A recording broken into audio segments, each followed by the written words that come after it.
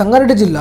గుమ్మడిదల మహాస్థాయి కెమికల్ పరిశ్రమలో కెమికల్ డ్రమ్ములు పేలడంతో అకస్మాత్తుగా చెలరేగిన మంటలు పరిశ్రమ పూర్తిగా దహనమై భారీ ఎత్తుగా ఎగిసిపడుతున్న మంటలు ఇంకా చేరుకోలేని ఫైర్ సిబ్బంది కార్మికులు భయంతో బయటకు పరుగులు తీశారు అందరూ బయటకు వచ్చారా కొందరే బయటకు వచ్చారా అనేది పూర్తిగా సమాచారం లేదు పరిశ్రమలో వంద మంది కార్మికులు పనిచేస్తున్నారు